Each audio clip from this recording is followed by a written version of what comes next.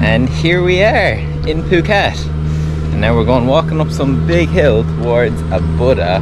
Yeah, so we're gonna do the Big Buddha walk from Kata Beach um, up to the Big Buddha, and we're here at our first hill, and Katie's regretting her decision. Welcome to the video. Keep keep watching for more information. Like Yeah. and subscribe. I'm not sure if the camera really represents this, but the gradient on this hill is insane. Yeah, I'm already sweating. We're not even like a kilometer in.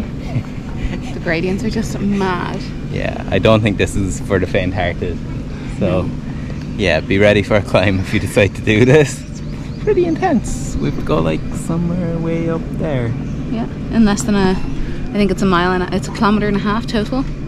So like, it's just really steep the entire time. Yeah, so it'll be fun. Have fun.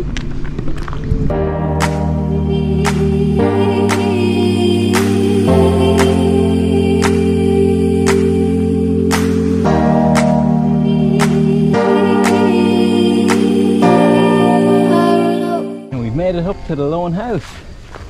You can see why it's called the lone house. There is no easy way up here, just a very steep hill. But it's good. Really hard bit to come, where we need ropes to get us up, which he doesn't know about. Yeah. I don't think. Well, I did show him the vlog. I didn't read it. Yeah. I like the surprise. Yeah. Um. So yeah, we'll see how that bit goes, and then you come onto a road, and then we walk the rest of the way to the Buddha. So you can get a taxi up to the Buddha if you want, but uh, we decided to do it the hard way. Only if you're soft.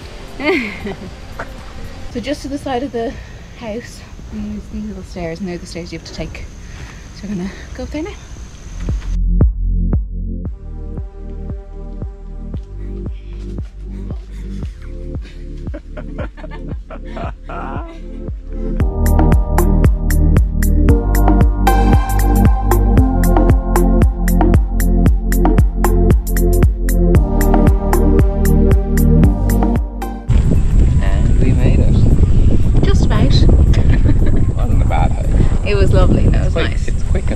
Yeah, it was a quick like burst, like steep and quick, but it was good. Yeah. Yeah, really good.